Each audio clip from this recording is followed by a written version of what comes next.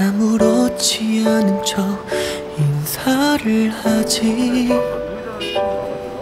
가지 말라 잡아볼까 기대를 했던 내가 내가 참 바보지.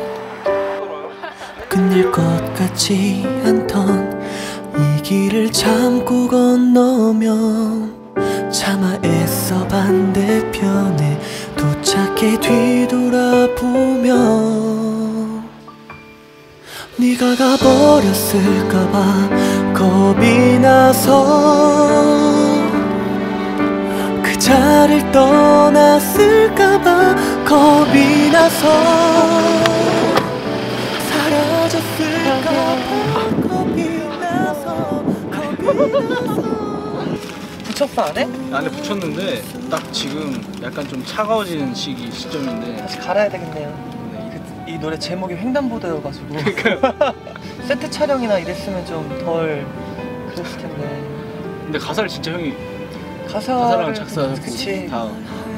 같이 곡에 참여하고 작사도 내가 하고.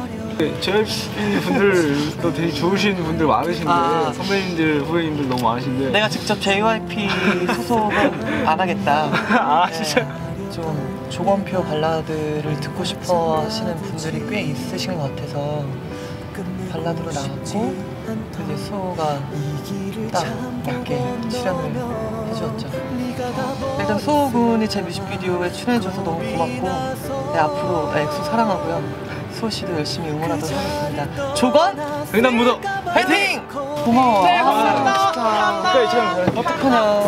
고마워. 겁이 나서 그 자리를 떠났을까봐 겁이 나서 사라졌을까봐 겁이 나서 겁이 나서 기대를 갖고 있습니다.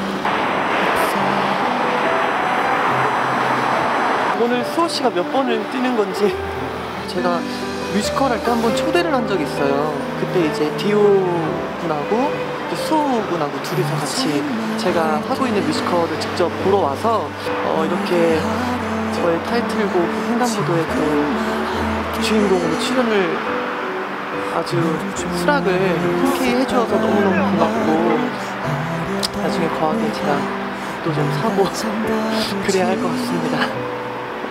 끝내고 싶지 않던 이 길을 참고 건너면 네가 가버렸을까봐 겁이 나서 그 자리를 떠났을까봐 겁이 나서 사라졌을까봐 어, 일단 조건 선배님 제가 어, 예전부터 존경하던 선배님이고 어, 즐겨 음악을 들었었는데 좀 더 가까워진 것 같아요. 어, 그래서 이렇게 또 조건 형의 뮤직비디오를 찍게 된다고 했을 때 기분이 너무 좋았고 기대도 많이 됐습니다. 이 노래에 대해서 어떤 내용이다 어떤 노래다라는 걸 들었는데 어, 그것 때문인지 몰라도 좀 더 감정이입이 잘 됐고 가사에 겁이 난다고 하는데 어, 연인 사이에 정말 가슴 아린 표현인 것 같아요. 너무 사랑해도 겁이 나고 너무 사랑하지 않아도 겁이 나고 겁이 난다는 표현이 저는 되게 마음에 와닿더라고요. 조건이 형 횡단보도 파이팅! 대박!